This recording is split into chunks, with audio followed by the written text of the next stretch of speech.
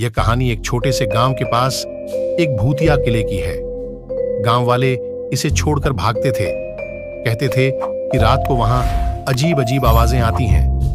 एक दिन एक नौजवान नामक राज कुछ दोस्तों के साथ गाँव में रहने के लिए आया। वह गाँव वालों से किले के बारे में सुनकर हैरान हुआ और उसने किले में जाने का निर्णय लिया। रात के समय राज और उसके दोस्त किले की ओर बढ़े।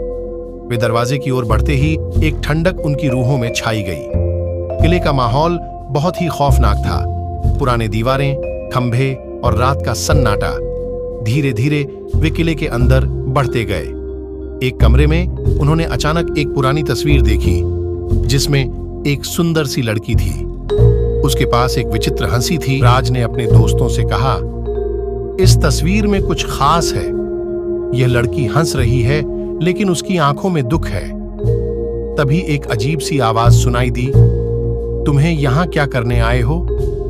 राज और उसके दोस्त दरवाजे की ओर देखते हैं, लेकिन कोई नहीं था। उन्होंने फिर सुना, तुम्हारा समय खत्म हुआ है। एक अंधेरे सुरंग से एक भूत निकला, जिसकी आँखों में वही दुख था जो तस्वीर में था। राज और उसके दोस्त डर के मारे ठंडे पसीने में थे। भूत ने कहा तुम्हें यहाँ नहीं आना चाहिए था। अब तुम्हें जाने का समय आ गया है।